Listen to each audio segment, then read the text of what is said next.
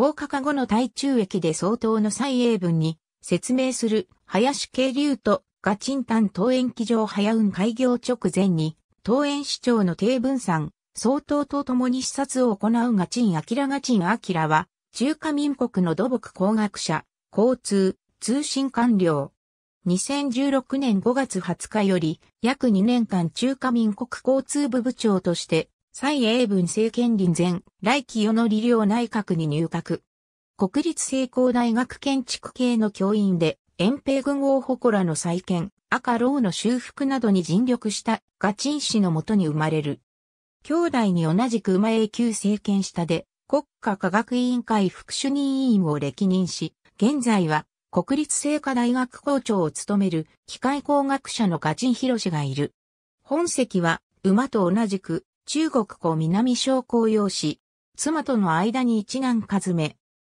陳水扁政権下で交通部の政務次長として抜擢され、2003年には、毛時国の後を継いで中華電信党次長に就任、2008年8月19日に旅学金と交代するまでの約5年間、固定回線、長距離通話、無線通信の競争力強化と民営化に向けた IPO、組織改革、光通信とそれを利用した中華電信モッドを推進した。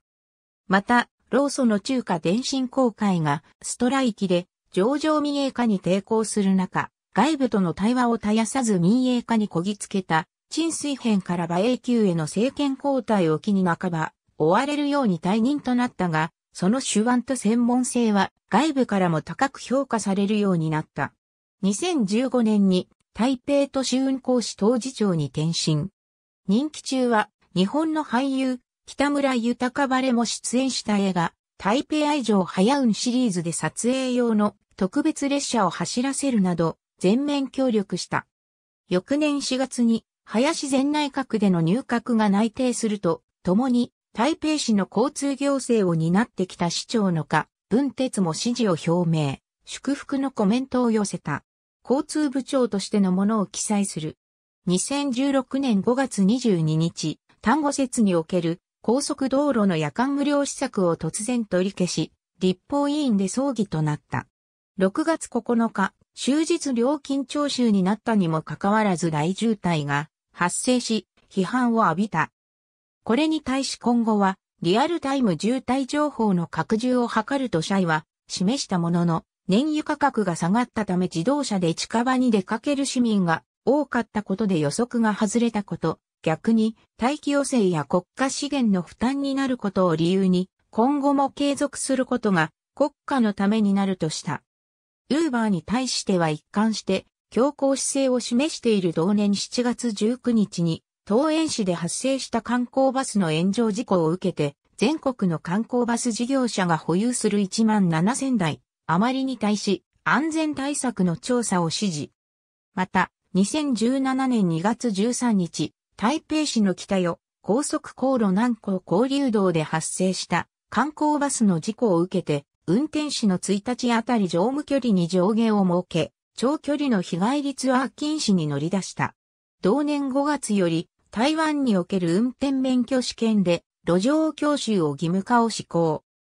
台北都市運行士出身の技術畑ということもあり、前政権から一向に開業の見通しが立たなかった東園機場早運では、交通部官僚や沿線市政府職員を中心に、大衆早運法の規定に関わらず暫定ダイヤでの開業前倒しを急ぐ声が多かったが、そういった雑音を封じて、第三者委員会による問題解決を図り、基準クリアを見届けた上で、無事に2017年3月の正式開業にこぎつけた。一週間で最低1日の休日を義務付ける台湾の改正労働法交付は交通部管轄の官民事業者に例外なく適用されるはずだったが、台湾鉄路管理局における乗務員、運転士、保線作業従事者への適用が見送られ、極端なシフト勤務で苦しむ職員の反発を招いている。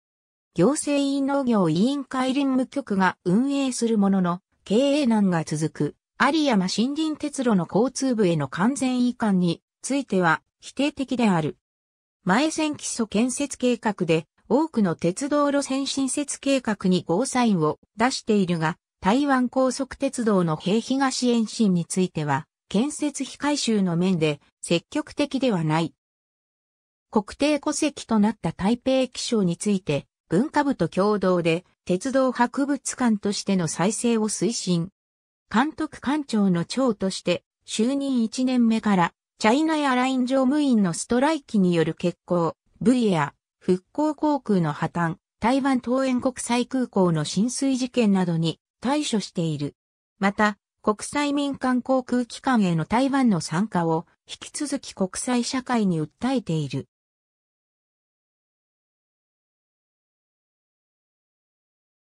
東園市観光バス炎上事故、東園国際空港浸水事件、台湾鉄路管理局の労使問題と相次ぐ事故などを受けて、大鉄局長だった周英明を交通部観光局局長に抜擢するなど、観光局、航路総局、民謡航空局など9部局で大幅な局長人事改造を行い、評判通りの大胆な手腕を見せた。ありがとうございます。